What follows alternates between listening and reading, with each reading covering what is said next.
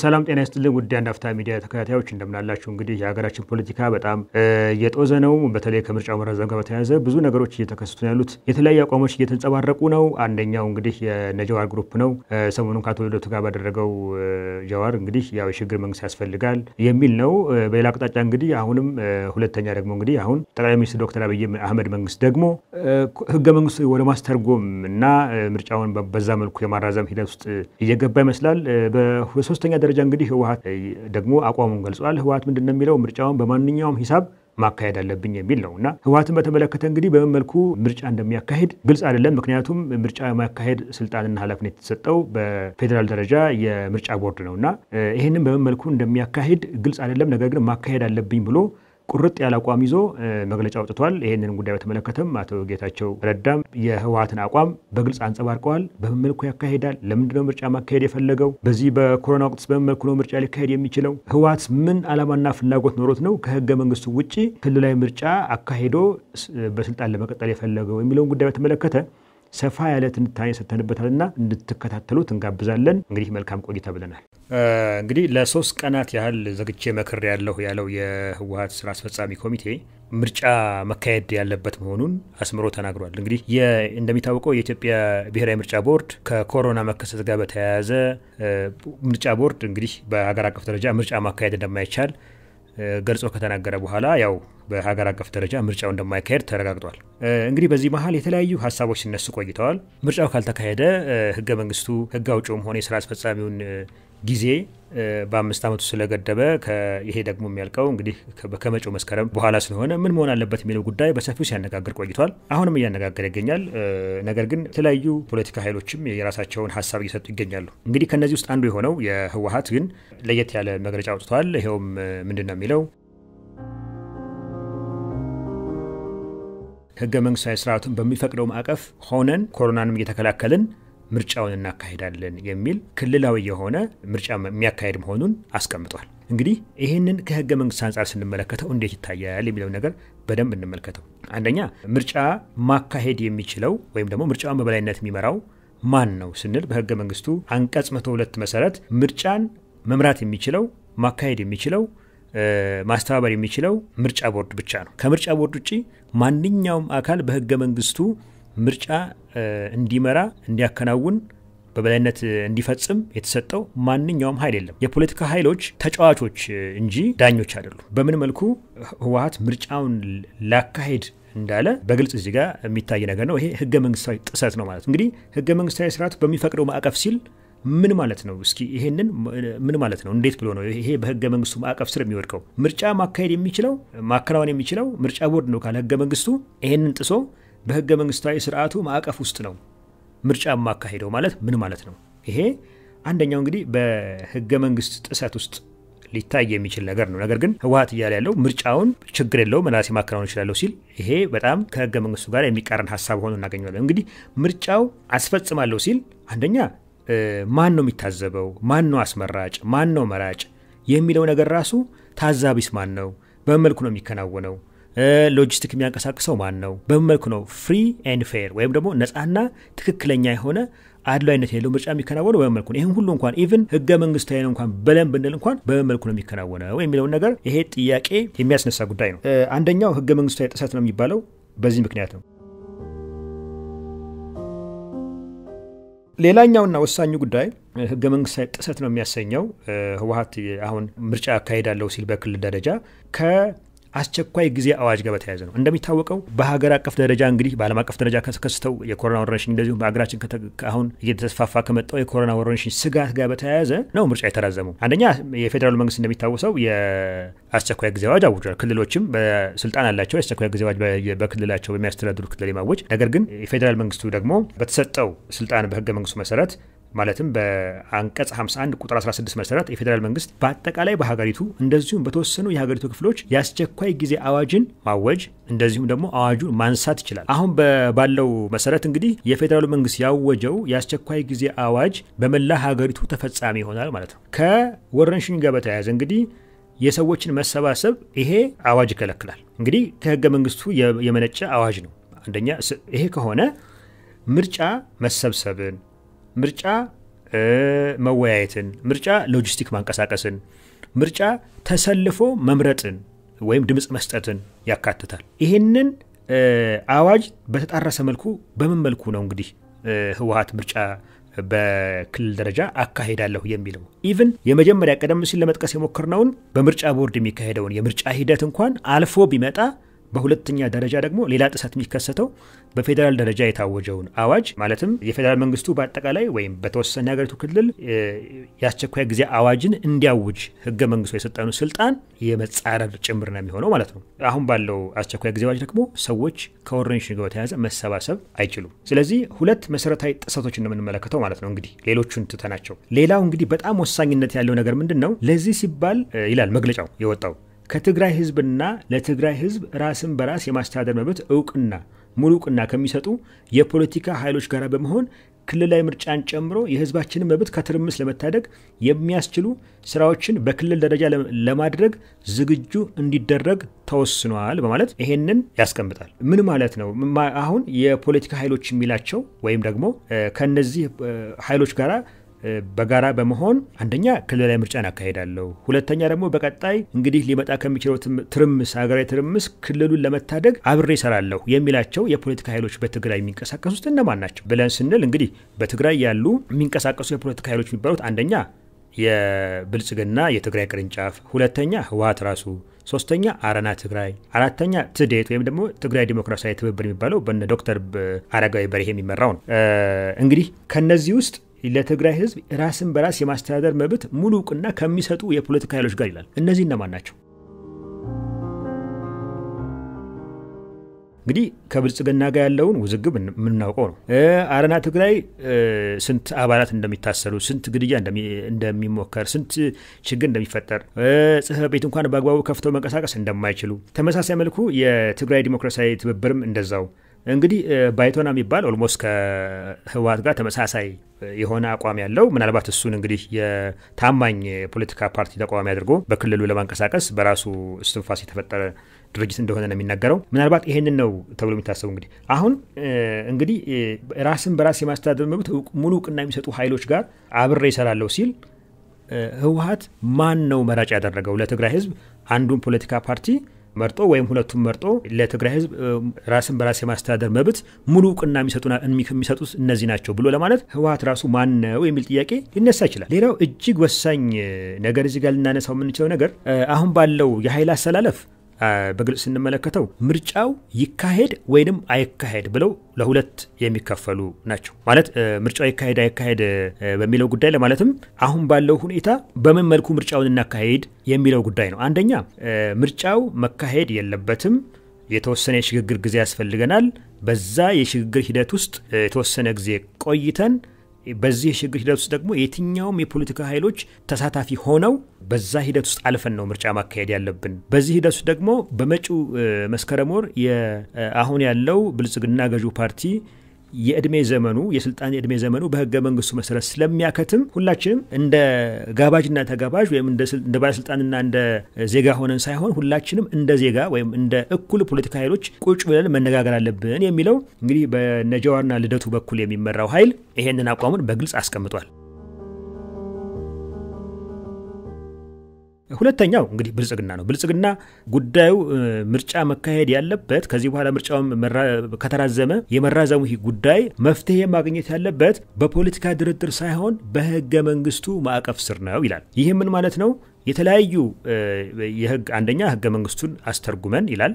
ሁለተኛው ደግሞ ህገ መንግስቱን በማሻሻል ይላል። ነገር ግን ህገ መንግስቱን ማሻሻል የሚለውን ጉዳይ በተመለከተ ህገ መንግስቱ በተለያዩ አካሄዶች እንዲሻሻል የማድረጉ ሂደት ከተጠናቀቀ በኋላ መጨረሻ ላይ የግድ ህዝብ መወያየት ስላለበት በህገ መንግስቱ ላይ እንግዲህ በማሻሻያው ላይ ህዝብ መወያየት ስላለበት አሁን ደግሞ ያለው አንደኛ የኮሮና ቫይረስ ስርጭት ስለማይታወቅ አዝማሚያውን በግልጽ ስላልሆነ ህዝብ ሰብስቦ ህገ መንግስት ማወያየት የሚቻል ስላልሆነ ይሄ ጉዳይ ሊሆን አይችልም። ሁለተኛው ከዚህ ባለፈ አስቸጋሪው ነገር ደግሞ ህዝብ መሰብሰብ ብቻ አይደለም። አሁን በመጪው መስከረም ማጠቃለያ ላይ አሁን ያለው መንግስት በህገ መንግስቱ የተሰጠው የስልጣን ጊዜ ስለሚያበቃ ተብሎ ነው ብዙ ጊዜ የሚገለጸው በህገ መንግስቱም እየተጠቀሰ በዚህ አጭር ጊዜ ውስጥ ህገ መንግስቱን ህዝብ አወያይቶ በተለያዩ የስልጣን ደረጃ ላይ ያሉ ኃላፊነት የተሰጣቸውን የፖለቲካ ኃይሎች ወይም ደግሞ የፌዴሬሽን ምክር ቤትን የክልል ምክር ቤቶችን ሁሉን አወያይቶ ጨርሶ ወደ ህዝብ አውርዶ ህገ መንግስቱን የማሻሻል ስራ የመስራቱ ሂደት የተራዘመ አሁን ከሚባለው ከመስከረም በላይ ስለሚሄድ ይህም ደግሞ መንግስት ከተሰጠው የስልጣን ጊዜ በላይ ስለሚሄድ ሊሆን አይችልም። ሰው ህገ መንግስት ማሻሻል የሚባለው ጉዳይ አክትሟል ማለት ነው። ስለዚህ የጠቅላይ ሚኒስትር ዶክተር አብይ አህመድ መንግስት አሁን እየሰራበት ያለው ህገ መንግስቱን ማስተርጎም የሚለው ላይ ነው። ብልጽግና በአጠቃላይ ስናየው ህገ መንግስቱ መተርጎም አለበት በሚለው አቋም ላይ ጸንቷል። ስለዚህ ምርጫው መካሄድ አለበት ከፖለቲካ ድርድር ምናምን በሚባለው ጉዳይ ሳይሆን ከዚህ በኋላ በህገ መንግስቱ ማዕቀፍ ስር ነው ይላል። ተመሳሳይ ነው። ልክ ህወሀትም በህገ መንግስቱ ማዕቀፍ ስር ምርጫ እናከናውናለን ይላል። ልክ እዚህ ጋር ደግሞ ብልጽግናና ህወሀት የሚለያዩባት ነጥብ ምንድናት ማለት ነው? ህወሀት ምርጫው አሁኑኑ መካሄድ አለበት፣ ኮሮና ኖረ አልኖረ ማካሄድ አለብን የሚል አቋም ሲይዝ፣ ብልጽግና ደግሞ no ምርጫው ህገ መንግስቱን አስተርጉመን አራዝመን ማካሄድ አለብን የሚል ነው። ሁለቱም ግን ህገ መንግስቱ ላይ ይቀመጣሉ። ከዚህ ውጭ እነ ጀዋርና ልደቱ ግን no ህገ መንግስቱን ወደ ጎን ትተነው ህገ መንግስቱ already በዚህ ጉዳይ ላይ ምንም ምላሽ የሰጠው ምላሽ በቃ መስከረም 30 ላይ የመንግስት ህልውና ስለሚያከትም ሁላችንም ቁጭ ብለን ተነጋግረን ፖለቲካዊ መፍትሄ ፈልገን ምርጫው በምን መልኩ መካሄድ አለበት፣ ከዛ ምርጫው እስኪደርስ ድረስ ደግሞ ምን አይነት መንግስት መኖር አለበት የሚል የሽግግር መንግስት አይነት ይዘት ያለው ሀሳብ ያቀርባሉ። ስለዚህ ይሄንን ጉዳይ ፈጽሞ ይሄንን ጉዳይ ህወሀት ፈጽሞ አይቀበለውም። አቶ ጌታቸው ረዳ እንግዲህ አንደኛ ህወሀት ያወጣው መግለጫ ምርጫው መካሄድ አለበት መካሄድ አለበት ነው የሚለው። ምንም እንኳን ቀደም ሲል ለመጥቀስ እንደሞከርኩት ህገ መንግስታዊ ባይሆን፣ አንደኛ በክልል ደረጃ ምርጫ ማካሄድ ስለማይችል፣ ሁለተኛ አስቸኳይ ጊዜ አዋጁን ስለሚጻረር ነው። በእነዚህ ሁለት ምክንያቶች ህወሀት ምርጫ ማካሄድ በክልሉ አይችልም። ነገር ግን እነዚህን ጥሶ ህገ መንግስቱን ደግሞ አስከብራለሁ ይላል። ስለ ህገ መንግስቱ ይከራከራል። ስለ ህገ መንግስታዊ ስርዓቱ ደግሞ ያወራል። አቶ ጌታቸው ረዳ እንግዲህ እንደውም በዛው ትግራይ ባለ አንድ ቴሌቪዥን ጣቢያ በሰጡት መግለጫ ምንድን ነው ያሉት? ጋዜጣዊ ማብራሪያ የሽግግር መንግስት ፈጽሞ የማይሆን ነው ብለው ነው የተናገሩት። ይሄ ፈጽሞ ሊሆን አይችልም። ይሄንን ስልጣን የሚፈልጉ ኃይሎች ከህገ መንግስት ውጭ በስልጣን ለመደራደር የሚፈልጉ ኃይሎች እያሰቡትና እየሄዱበት ያለው መንገድ ስለሆነ አንቀበለውም በማለት already የነ ጀዋርና ልደቱን አስተሳሰብ ውድቅ አድርገውታል። በተመሳሳይ መልኩ ህገ መንግስቱን በማስተርጎም እንደገና የስልጣን እድሜውን ለማራዘም ብልጽግና ጉዞውን ጀምሯል ብለው ደግሞ እንደገና ብልጽግናን ይቃወማሉ። ስለዚህ የብልጽግናና የህወሀት ልዩነት ህወሀት ምርጫው አሁኑኑ ይደረግ የሚል ሲሆን ብልጽግና ደግሞ no ምርጫው ትንሽ አስተርጉመን ጨርሰን ማካሄድ እንችላለን አሁን ወረርሽኙ ካለፈ በኋላ የሚል ነው። ሁለቱም ግን ህገ መንግስቱ ላይ ትኩረት ያደርጋሉ። ነገር ግን ሁለቱም ደግሞ ይካሰሳሉ። ብልጽግና ያው ህገ መንግስቱን በጣሰ መልኩ ምርጫ ለማካሄድ ህወሀት እየተዘጋጀ ነው የሚል ወቀሳ ያሰማል። በሌላ መልኩ ደግሞ እንደዚሁ ህወሀት ስልጣኑን ለማራዘም ህገ መንግስቱን አስተርጉሞ ለማስቀጠል ጥረት እያደረገ ነው የሚል ክስ ያሰማል። በሁለቱም መካከል ይሄን ያለው ልዩነት የነ ጀዋር ግን ከሁለቱ ውጪ ህገ መንግስቱን ቁጭ አድርገን የፖለቲካ ድርድር ነው የሚያስፈልገን የሚል ነው። ይህንን በተለይ አቶ ልደቱ ሰሞኑን በስፋት እየሄዱበት ይገኛሉ። አንድ ግን በጣም critical የሆነ ነጥብ እዚህ ጋር እናንሳ። ይኸውም ህወሀት ለምንድን ነው የነ ጀዋርን ሀሳብ ወደ ጎን ያለው? ምክንያቱም ስናየው almost የፌዴራሊስት ኃይሎች ብሎ ባለፉት ጊዜያት ህወሀት የተለያዩ ድርጅቶችን ሲያደራጅ ነበረ። የአየር ትኬት ከፍሎ የሆቴል ችሎ ወጪዎቻቸውን ሁሉ ሸፍኖ almost የብሔር ድርጅቶችን ሲያሰባስብ ነበረ። በተመሳሳይ መልኩ እነ ጃዋርም እንደዚሁ በደቡብ አካባቢ የሚንቀሳቀሱ የፌዴራሊስት ኃይሎች የሚባሉትን እነሱንም አሰባስበው እንደዚሁ የጠንካራ የብሔር ድርጅቶችን ለመፍጠር ጥረት ሲያደርጉ ነበረ እና ተመሳሳይ ይዘት ያላቸው ናቸው የህወሀት ያለው የፖለቲካ ቅርጽና ይዘት ከነ ጃዋር ጋር ነገር ግን ለምን እዚህ ጋር ተለያዩ ስንል ምክንያቱም እነ ጀዋር የሚሉት ምንድን ነው? ሁሉም የፖለቲካ ኃይሎች ቁጭ ብለው አንድ በአንድ መነጋገር አለባቸው። እከሌ ስልጣን ላይ ተቀመጥኩኝ፣ እከሌ መንግስት ሆንኩኝ የሚለው አይደለም። ያ ነገር እዚህ ላይ ማክተም አለበት ከመስከረም ሰላሳ በኋላ። እንግዲህ በዋነኝነት እዚህ ጋር ህወሀት ሁሉም ሰው መንግስታዊ ስልጣኑን ትቶ ሁሉም ፓርቲ እኩል ሆኖ ወደ ድርድር ገብቶ የ power share ወይም ደግሞ ስልጣን መጋራት ተደርጎ የሽግግር ሂደት ማካሄድ አለብን የሚለውን ነገር ህወሀት አጥብቆ አጥብቆ አጥብቆ ይቃወማል። ምክንያቱም አጥብቆ የሚቃወምበት ዋነኛ ምክንያት ህወሀት power share የሚባለው ነገር በጣም ይፈራዋል። እንግዲህ power share የሚባለውን ነገር በክልልም በሀገር አቀፍም ደረጃ ፓርቲዎች ባላቸው ቁመና፣ ባላቸው አቅም፣ ባላቸው የህዝብ በሚያቀርቡት ሀሳብ በተለያየ መልኩ ተደራድረው የሽግግር መንግስት እንዲያቋቁሙ የማድረግ ሂደት ማለት ነው። ይሄንን የነጀዋርን አስተሳሰብ የነልደቱን አስተሳሰብ አይቀበለውም። ምክንያቱም ህወሀት በትግራይ ያለውን የበላይነት አስጠብቆ መሄድ ይፈልጋል። ቀደም ሲል ለመግለጽ እንደሞከርኩት ህወሀት በሀገር አቀፍ ደረጃ የነበረውን የበላይነት አጥቷል። ይሄ ትልቅ shocking ነው። ቀጥሎ አሁን የመጨረሻው strong hold የመጨረሻው የህወሀት ምሽግ ማለት ትግራይ ነው። ትግራይ ላይ የሚንቀሳቀሱት ከራሱ ከህወሀት ውጪ አረና ትግራይ፣ ትዴት ወይም ደግሞ የትግራይ ዴሞክራሲያዊ ትብብር እንደዚሁም ባይቶና የሚባለው ነው። ባይቶና already የህወሀት replica ወይም ግልባጭ ስለሆነ ታማኝ ተቃዋሚ የሚባል በራሳቸው በህወሀት ሰዎች የተደራጀ ኃይል ነው። so ይሄ ችግር የለውም። እንደዚሁም ብልጽግናም አለ። በነገራችን የትግራይ ብልጽግናም በዚሁ አጋጣሚ አለ። እነዚህ ኃይሎች ከህወሀት ጋር የሚደራደሩ ከሆነ በ equal status ወይም ደግሞ በእኩል መቀመጫ ላይ ህወሀት ርስቴ ነው የሚለውን የትግራይን ስልጣን የማጣት ወይም ደግሞ የመጋራት ሂሳብ ውስጥ ከገባ አደገኛ ነው ለራሱ ለህወሀት ህልውና። ምክንያቱም የህወሀት የመጨረሻዋ ካርድ ትግራይ ስለሆነች ማለት ስለዚህ ህወሀት ይሄንን ከስልጣን ወርደን ቁጭ ብለን እንነጋገር፣ እንደራደር፣ ከዛ የሽግግር መንግስት እናቋቁም፣ ከዛ ካቋቋሙ በኋላ ምርጫው በመመልኩ እንደሚካሄድ እንነጋገር የሚለውን ጉዳይ ፈጽሞ ፈጽሞ ሊሰማው አይፈልግም። ስለዚህ በተቻለው መጠን እቺ መስከረም 30 የምትባለዋ ከመድረሷ በፊት ቶሎ ብሎ ይህ ህገ መንግስታዊ በሆነ መልኩ ምርጫውን አካሂዶ እኔ ህጋዊ ነኝ፣ ስለዚህ ምርጫውን አራዝሞ በህገ መንግስት ትርጉም ስልጣኑን ለመቀጠል የፈለገው ወይም እየቀጠለ ያለው የዶክተር አብይ መንግስት ብልጽግና ስለሆነ ብሎ ቶሎ ወደ ክስ ወደ ፖለቲካ ክስ ለማምራት የሚሄድበትን ሁኔታ ነው እያመቻቸ ያለው። ስለዚህ ስልጣን ማጋራትን ፈጽሞ ስለማይፈልግ ነው ይህችን የነጀዋርን ሁላችንም ህገ መንግስቱን ወደ ጎን ትተን በፖለቲካ መፍትሄ መስጠት አለብን የሚለው ነገር የማይቀበለው ህወሀት ማለት ነው። እንግዲህ ይሄ ከምን የመነጨ ነው ስንል ይሄ ከምን የመነጨ ነው ስንል ከህወሀት ፍጥረት ነው የመነጨው ከፍጥረቱ ማለት ነው። ህወሀት እንደሚታወቀው አብዮታዊ ዲሞክራሲ የሚባል አስተሳሰብን የሚያምን ነው ማለትም ማለት ነው። አብዮታዊ ዲሞክራሲን በደንብ ስንመለከተው በአንድ ፓርቲ የበላይነት ወይም ደግሞ dominant party ይባላል። ይኸውም ሌሎች ፓርቲዎች በፈለገ ቢሆን ስልጣን አይይዙም። ነገር ግን ገዢውን ፓርቲ እያጀቡ በየምርጫው እያደመቁ already ሚዜ ሆነው ዋናውን ገዢውን ፓርቲ ለስልጣን ሞሽረው የሚያበቁ የባዕል ወይም የምርጫ አድማቂዎች ናቸው። ላለፉት 27 ዓመታትም ኢትዮጵያ ውስጥ ሲደረግ የነበረው ይሄ ነው። አሁን ይሄንን በኃይል ካጣ በኋላ ብልጽግና ፓርቲ መጣ። ከዛ በኋላ ህወሀት ያው አልቀላቀልም ብሎ ራሴንም ህልውናን አላከስመም ብሎ ሙሉ በሙሉ ጠቅሎ ያው ትግራይ ገባ። ያንን አብዮታዊ ዲሞክራሲ ይዞ እንደቀጠለ ነው። ስለዚህ የአንድ ፓርቲ የበላይነት ወይም ደግሞ ዶሚናንት ፓርቲ የፖለቲካ ፍልስፍናን ይዞ ስለቀጠለ ይሄንን አስተሳሰቡን እስካልቀየረ ድረስ ከሌሎች ፓርቲዎች ጋር ቁጭ ብሎ በስልጣን ጉዳይ ተደራድሮ በሰጥቶ መቀበል ሂደት ፖለቲካዊ መፍትሄ መፈለግ የሚያስችል ተፈጥሯዊ ባህሪ የለውም። ስለዚህ ይሄ ነው በጣም ወሳኝ ነገር እና በተለይ ደግሞ አረና ትግራይን በጣም ይፈራል። እንደዚሁም ደግሞ የትግራይ ብልጽግናን በጣም ይፈራል። ይሄ ስለሆነ በፍጹም ለድርድር ክፍተት አይሰጥም እና ይሄንንም አቋሙን አንድ በአቶ ጌታቸው ረዳ በኩል ሁለት ደግሞ ራሱ በፓርቲው ሰሞኑ መግለጫ በግልጽ በማያሻማ መልኩ አስቀምጧል። እንዲህ አይነት ትርምስምስ ያለ ነገር ነው የሚታየው። ብልጽግና አንድ አቋም አለው፣ ህወሀት ሌላ አቋም አለው፣ የፌዴራሊስት ኃይሎች ነን የሚሉት ሌላ አቋም አላቸው።